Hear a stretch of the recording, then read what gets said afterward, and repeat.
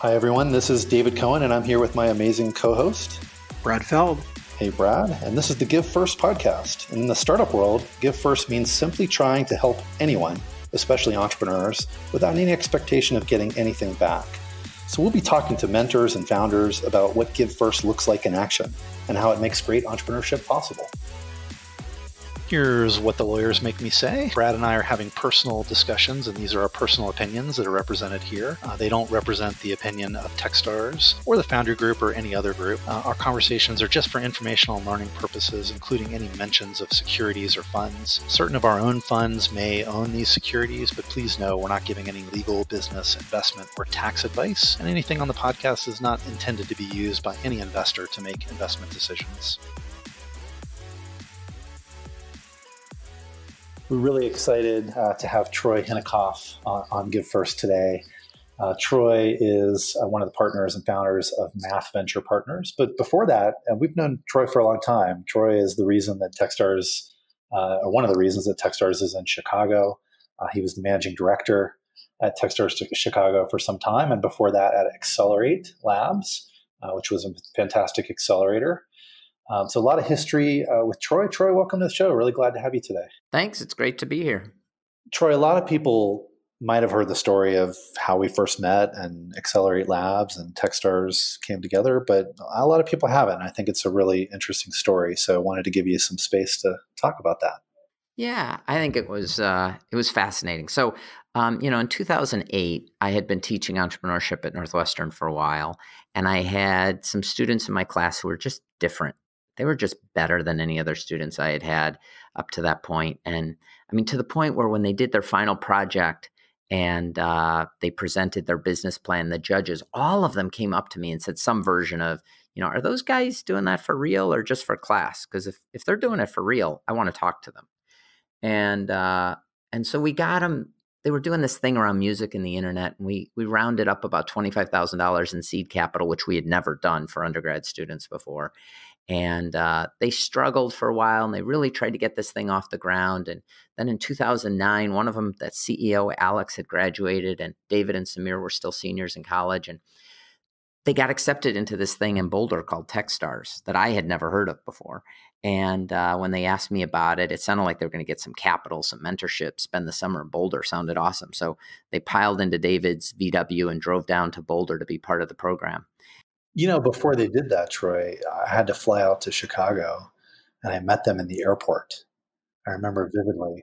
Oh, I've heard a little bit about this story. Yeah, to persuade them. Yeah, I, I, you know, I used to fly to the airport of whatever town, and I'd, I'd take a meeting in the airport and I'd fly back. And and I remember meeting those guys just sitting in that sort of airport, you know, crappy seats. Yeah, so they so they came down to TechStars, and as uh, as it's been told to me, they got there and like day two of the program they they said this dog isn't going to hunt and they thought their business was doomed. And uh, i don't know david you were there so you can tell me a little more about what happened then. Well you know they, they walked in it was day two of the accelerator program and they walked in uh, and they said you know we just we just don't believe in in this business anymore. And you know they they were sort of saying we're not sure we believed in it when you funded us and you know our, our reaction was okay you know cool. Like let's figure out you know what we should go do because uh, you know the investment's in you not in, in this particular idea. You know we weren't too sure about it either. So we just started brainstorming and i remember a big whiteboard session that day. Yeah. And then you know fast forward to the end of the program which is like what 88 days later um, and i'm down in boulder for boulder demo day and um, Alex did an amazing job with his pitch. I think he was asking for like 350,000 in in seed capital to launch this new thing around music and the internet that he called Next Big Sound. And there was a line of investors waiting to uh, to invest. He actually ended up raising over a million dollars in that round, turning people away. It was one of my first angel investments. It was that day that I realized we saw a couple of things. Well, one was how awesome the program was for Alex, David, and Samir. It took them with this nascent idea that wasn't going to work, helped them figure out how to pivot, how to find a real business model, how to raise money, raise over a million dollars, and and go into business. And that was phenomenal. And the second thing was there were a handful of us from Chicago who happened to be there. Techstars had just expanded its first time to Boston. You had 10 companies in Boulder, nine in Boston. Of those 19 companies, five came from Chicago. And that was awesome. Like we rock, except they all left and didn't come back, right? Next Big Sound set up camp in Boulder because that's where their lead investors were. And and so they didn't come back to Chicago. They never made it back to Chicago. And so there were a handful of us who were there. I remember it, August 6th, 2009. And we said, hey, we want to do this in Chicago. So we reached out to you and to Brad and said, "Hey, will you do it in Chicago?" And I remember you came up to Chicago with um, Sean, the MD from the Boston program, right? And we uh, and we talked about setting up TechStars in Chicago, and then you kind of pulled me aside and said, "Hey, you know, we're kind of busy. We're like it's under the radar, but we're launching New York and Seattle. We don't have the bandwidth to do this. We're really focused on quality over quantity.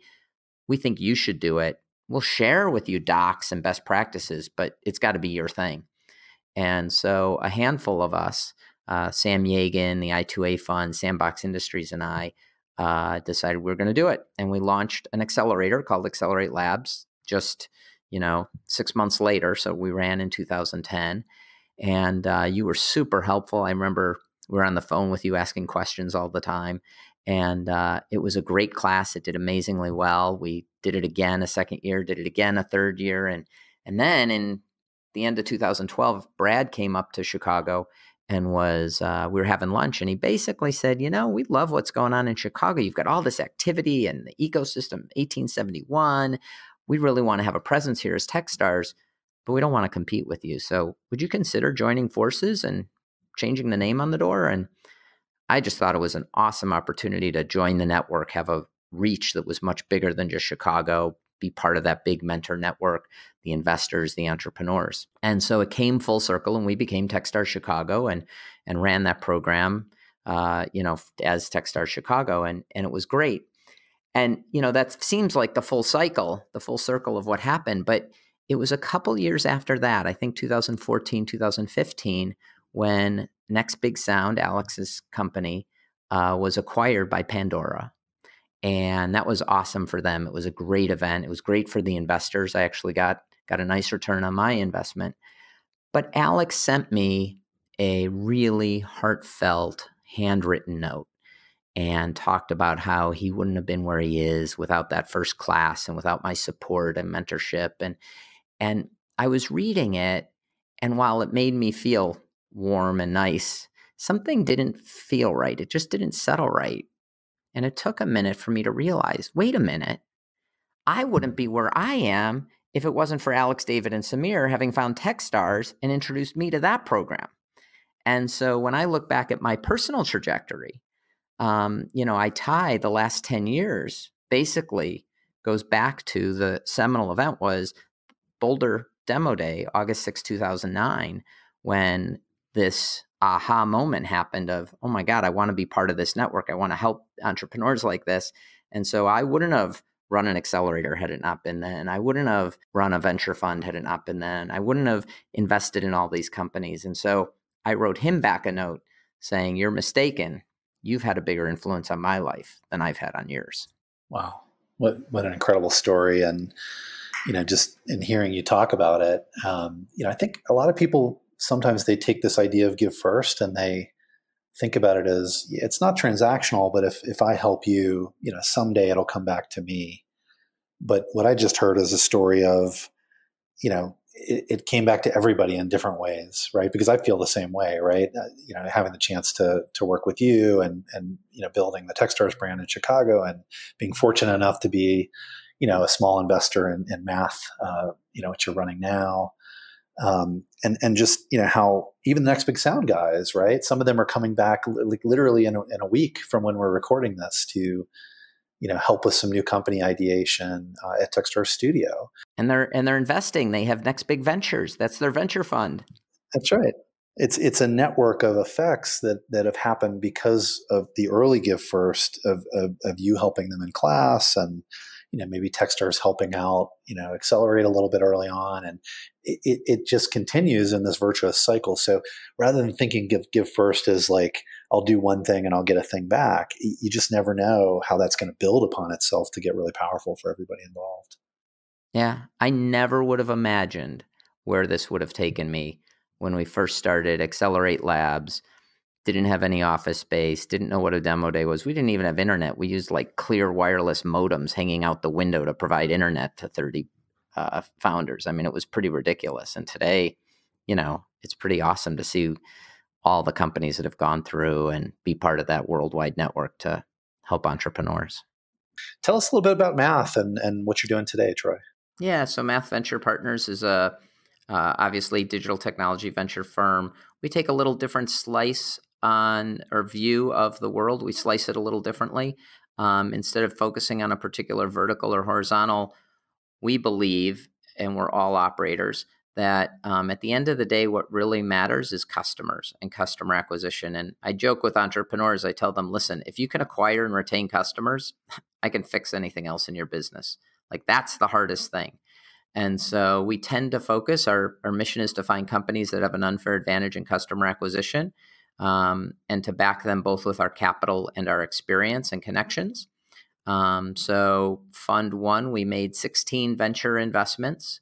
We're now in our fifth year, and all 16 are still operating. They're all doing well. They're doing, a couple are doing different versions of well, but we have no zeros yet. And that's because they all have customers, they all have revenue. Um, we also have a seed program where we made 21 seed investments out of that first fund. Um, and then in the second fund, we've just started, closed the second fund a little over 45 million, and uh, that has about a half a dozen total investments split between seed and series and what we call our, our um, venture investments. Out of that, I think 12 or 13 are Techstars companies that we've already invested in. So there is a lot of synergy there. And then a bunch that we've invested in, not just that are Techstars companies, but with Techstars Ventures as well. I, I, like to tie it all together. When I came, was thinking about Give First again. Um, you know, thinking about what you're doing now, the impact that that you know you guys are having on Chicago and making all those investments. You know, the impact that that people like Sam and, and Farsht and others that, that you know we've been involved with have had on Chicago is really just amazing to watch, and in a relatively short amount of time, right? Sort of ten years in but but sort of you telling that story of you know a large number of your portfolio actually being Techstars companies is just another way that you know the existence of that fund sort of you know more than pays back that early give first. So thanks for all you're doing. I know you're really passionate about what's going on in Chicago. Yeah, it's been great to see. I mean, I sometimes I still have to pinch myself because when we were thinking about starting Accelerate Labs, which is still only nine years ago, there was no accelerator. There was no co working space. There was no really formalized way to get to investors. There was not much. Hyde Park Angels had just started their formalized angel group.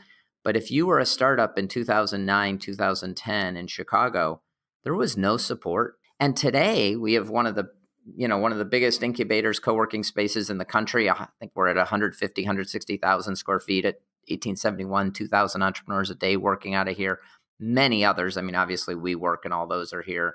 Um, multiple angel groups, lots of venture funds. I mean, the whole ecosystem has has evolved in the last ten years in an incredible way.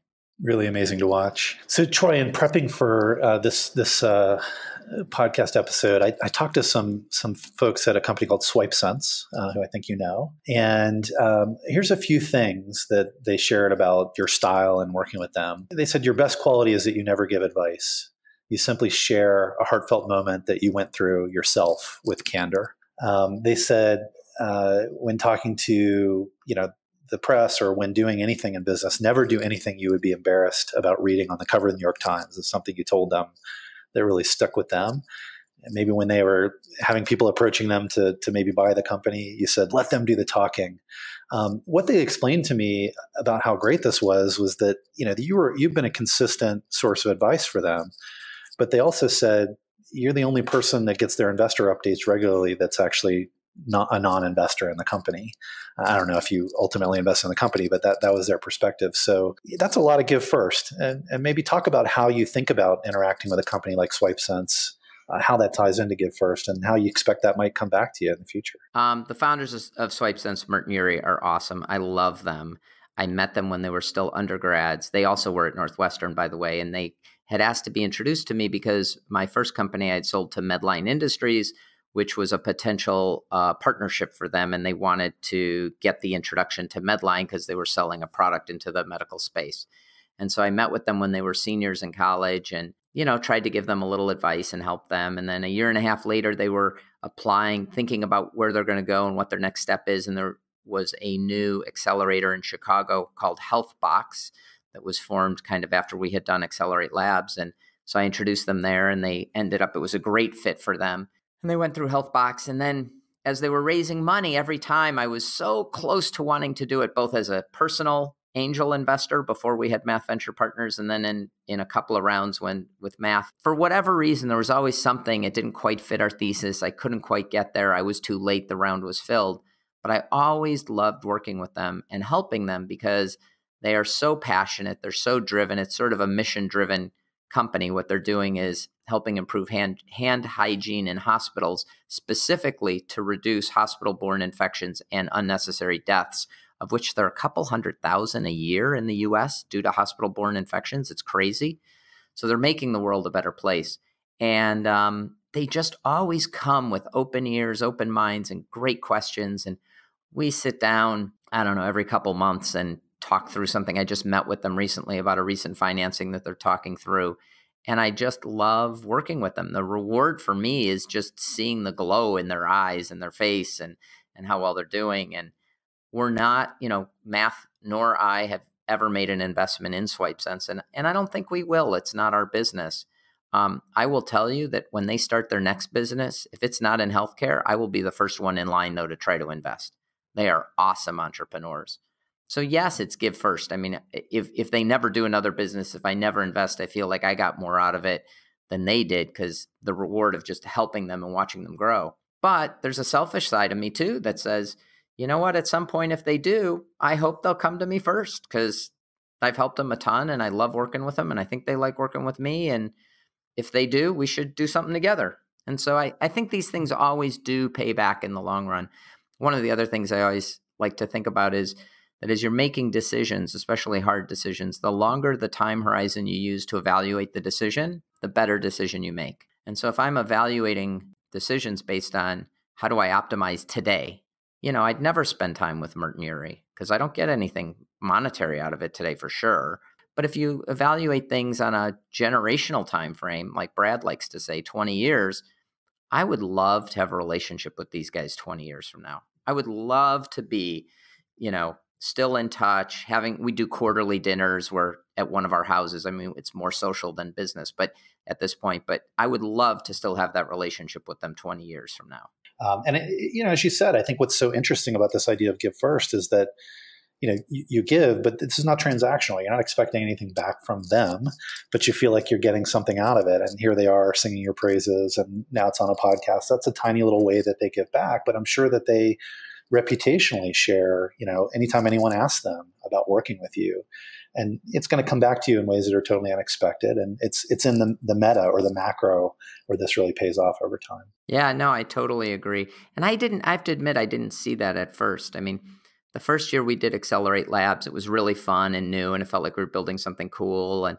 then the second year i remember we were doing it we didn't have a budget mds you know today an md in a program gets a salary and carry and all that stuff but i mean i think the second year i, I got paid less than a barista at starbucks I uh, I was in a position where I could afford to do it. I wasn't worried about how I was going to pay rent next month. And it turns out that that decision to actually help build this Accelerate Labs, Techstars Chicago, has paid such huge dividends in the long run. I never would have been in the position I'm in today. I wouldn't have been offered the positions teaching at Booth or at Kellogg that I did. I wouldn't have been able to start a venture fund. I mean, I'm sure I would have been fine, but I can trace so much of where I am today and the entrepreneurs I've gotten to engage with and to help to that early decision to, you know, we're going to volunteer our time and start this thing called Accelerate Labs. Okay, we'll put another year into it, you know, making a tiny, tiny little stipend that doesn't pay the bills.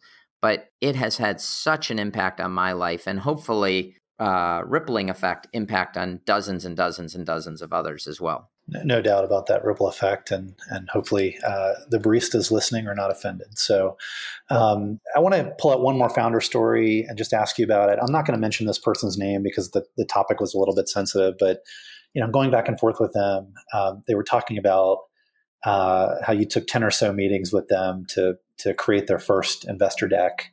um, you know, just incredible amount of, of mentorship before really it was something that you later invested in.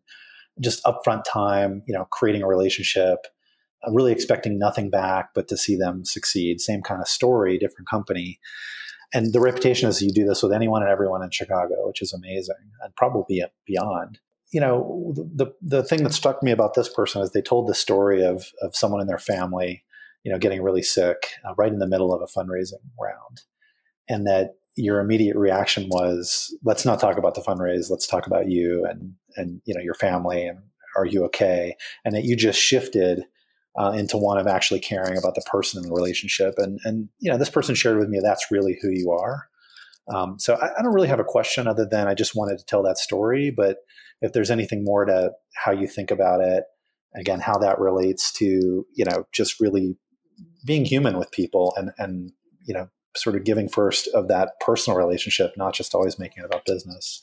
I mean, I think that what we do as investors is a relationship business. We are in the business of getting to know people, understanding them, building relationships, building trust. And only once that relationship and that trust is there can you then start to talk about okay do we invest some money and do we help build a big business right um, it's very different from you know investing in public markets where you can invest based on numbers. You know you see p to e ratios and other other indicators in the stock market and you invest in a company not even knowing who the ceo is or who the management team is. But when you're an early stage investor it's really all about the people and all about the relationships. And that's part of what i love about it. Um, I don't think I would be happy doing later stage private equity or public company investing because I'd miss the part that's more most important to me, which is that fabric, the the the people that you get to build these relationships with and help. And the, the person you're talking about, I know very well. And I did help a ton in the early stages and had no expectation I would ever invest in this business. I didn't really like the business that much as a business.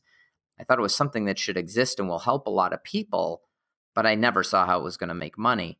And so I was, of course, happy to help and put a bunch of time into it. Um, and then over time, I was proven wrong. Not only did it help a lot of people, but it actually could make money while doing it. And so ultimately, Math did invest.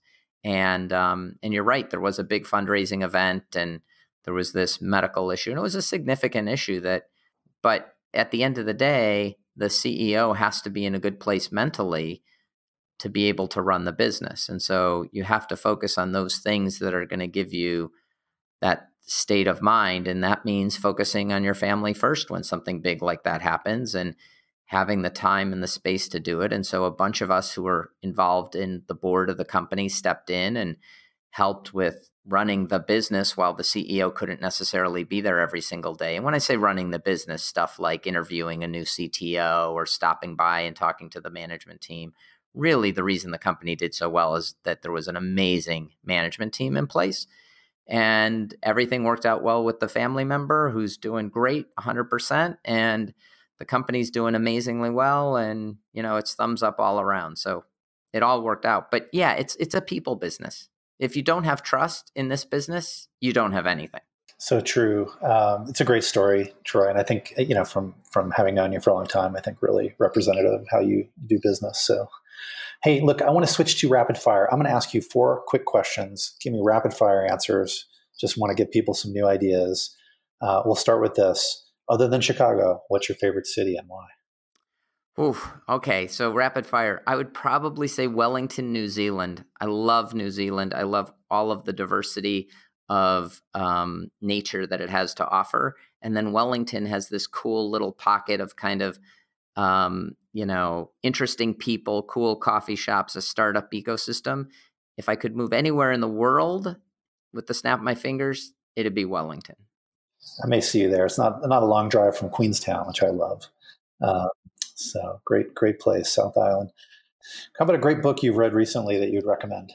How the Internet Was Made. I think that's the title. How the Internet Was Made, um, which was sort of the story of from the first browsers all the way through the launch of the iPhone. And it was fascinating to me, having lived through a, all of that, to hear the inside story of what was really happening inside and how how all of those steps from MySpace to Facebook, how they all impacted our lives in such very incredible, incredible ways. Like, I'll never forget the first time I saw the first iPhone. I was like, wait, you have a phone that has no keys on it. Like, that was just the craziest thing. And now we just accept that that's standard. And uh, it was it was a great book. Good, we'll check it out. Uh, what charity would you urge people to get involved with or check out? So I have a particular bias, and my bias is here in Chicago, Lurie Children's Hospital. Um, my daughter had a had a pretty serious health issue many years ago 10, 10 plus years ago and had brain surgery there and is an amazing kid and done amazingly well and is awesome and perfect and about to go off to college and we attribute that success to Lurie's Children's Hospital. So we every year try to support them to the best that we can and I think that there's nothing more we can nothing better we can do than to support future generations whether it's in their health or their education but um, I'm always looking to support the next generation. Awesome. Last question outside of your immediate family and of course present company, who's the most interesting person you've ever met? Probably one of the most interesting people I ever met was Leon Lederman. Uh, many people won't recognize him. He was a Nobel laureate. Um, he was a physicist. I think he invented the term the God particle. And he was he passed away recently. He was an amazing man. First of all, incredibly smart. That goes without saying. Nobel laureate. Um, but to sit down at dinner with him and talk to him about any topic in physics, and he had such passion and drive and creativity, and then he turned that into um, creating something amazing for the state of Illinois, which is the Illinois Math Science Academy, which is a publicly funded high school. It's a boarding school for the top math and science students in Illinois every year. So they take about 200, 250 students each year, each class. Uh, it's just awesome, and it wouldn't have existed without Leon. So I think Leon Lederman was one of the most interesting people I ever met in person. Super cool.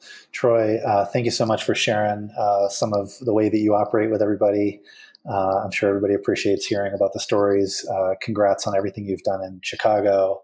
And of course, everybody should check out Math Venture Partners. Uh, great fun there in Chicago now. Thanks for being here, Troy. Well, thank you. And thank you for all you've built with Techstars. You can always learn more about what's going on here at Techstars by checking out techstars.com on the web or find us at Techstars on Twitter or your favorite social. And don't forget to give first.